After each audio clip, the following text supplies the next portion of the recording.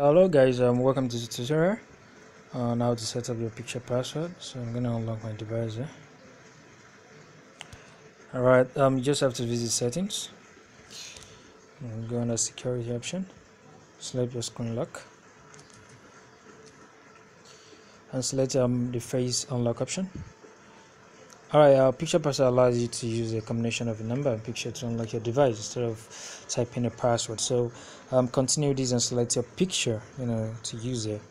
Now you need to select your number. Okay, here we are. Um, we have this grid size of a thing whereby you could actually change your grid size. Let's use basis here. And also for the randomized grid and unlock, it randomizes your grid. So I'm gonna select that. Alright, let's drag our number to the desired position now.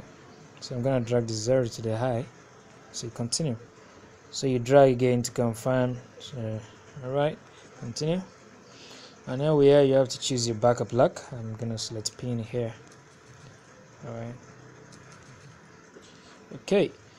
Yeah you're done so follow me on twitter at noaj and support development. Click the download button below and for more as visit all right thanks for watching guys. Uh, enjoy